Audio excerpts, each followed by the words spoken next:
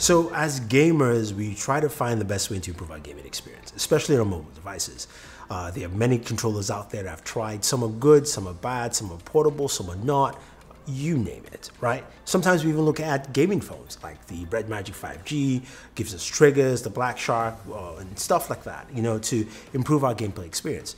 But what about using a dedicated controller that can cover all realms? Now, I thought that was the Razer Junglecat.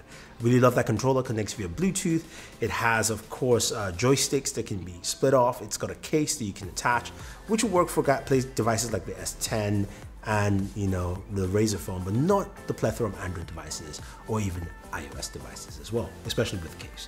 But here comes the Razer Kishi. Now the Kishi first saw it at uh, CES uh, 2020, and this looked like it was taking it to the very next level. Kind of reminds me when you when you have it with your phone docked in, like uh, a Game Gear. If you remember that, uh, that was really cool gaming device. This kind of looks the same. So the Kishi itself folded in looks like a standard game controller. It does not have Bluetooth connectivity because it, it, connects directly docked into your phone. What I mean by docked into your phone, it connects directly to your phone via USB Type-C port.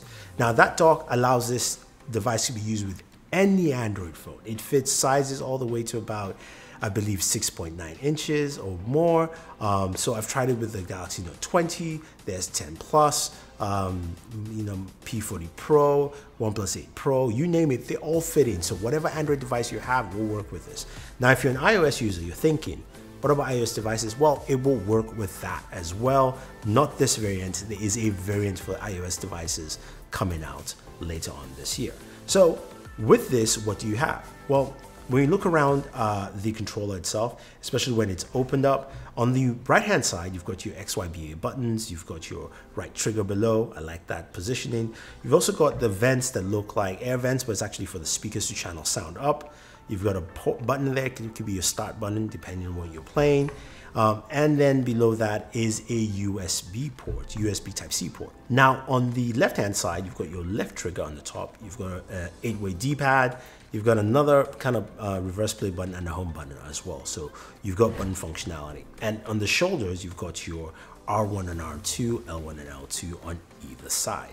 Uh, it's got nice grippable uh, feel to it. So while you're using it to play, it feels like you're using a regular controller. Now that USB Type-C port is pass-through only, so when you plug it in, it'll actually charge your device because this draws power from the device itself. It doesn't have any battery power included. So open it up, you can fit any smartphone in here. And how does it work with the games you have? So let me start off with what it does really well. Now, if you're playing uh, Project xCloud, GeForce now, or Stadia, it works like that. You basically take your device, you plug it in, you power up, say, Stadia, you can start playing games on Stadia right away. No issues, no fuss, no stress. Boom, all buttons are recognized, you're good to go. I will mention this, there's a slight issue with Samsung devices where the D-pad has some wonky functionality, but I hear that uh, an update is coming to, to patch that with Samsung. But that being said though, it works really well with Stadia. When you go to xCloud, whatever games you're playing, you're playing a racing game, uh, you're playing, you know, a fighting game, you're playing Devil May Cry, all those games work well with it, as well as also GeForce Now. So your game streaming platforms, they work really well. Now moving away from game streaming, uh, when it comes to um, Android games, here's where it's still a mixed bag for now. So there's certain games that have controller uh, functionality built in. It works directly with it. So example, a great example is Fortnite. Fortnite works with the controller. You plug it in. I was using the, the OnePlus 8 Pro, playing at 90 Hertz. Boom, good to go. Was playing Fortnite. It felt good. Uh, it felt really nice. Now there is a Kishi app but I have to tell you, the app is quite limited. You don't have mapping capabilities yet. So games uh, like Call of Duty Mobile, which have which require map mapping capabilities, is not available yet for. So that will come with time. But any games that support, supports controller on that Android ecosystem, you can actually use it. I have to say though, that puts me in a very interesting predicament. Is this the most perfect game controller? I would say maybe not. Uh, because you still have limitations of certain games. You can't remap a lot of games yet for it, but it definitely works for streaming services. Now, the idea of having the direct input via USB Type C gives it an added advantage. Basically, it works well and gives you great input controls for things like playing on Stadia, playing on xCloud, or even playing uh, with your Android game. So you've got better control functionality with the controller itself as opposed to Bluetooth connectivity where you might have issues.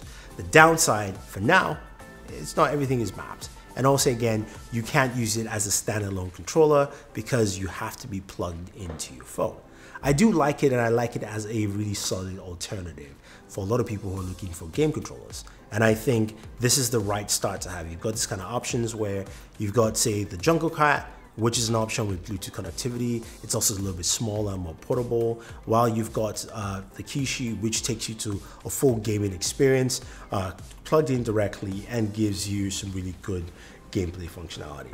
I like it. I like to see more improvements. I like to see more synergistic approach, especially on the Android side, where once I plug this in, any game, it should work with any game I pick up. So there you have it, guys. That is the Razer Kishi. Now, if you're looking for a mobile game controller that can take things to the next level and give you some really solid gameplay functionality, this might be the device for you.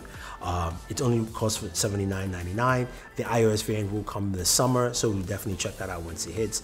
But don't forget to like, share, subscribe, guys. And you have any questions, leave them down below and I'll try and answer them for you. It's Thunder E saying thank you and always enjoy entertainment.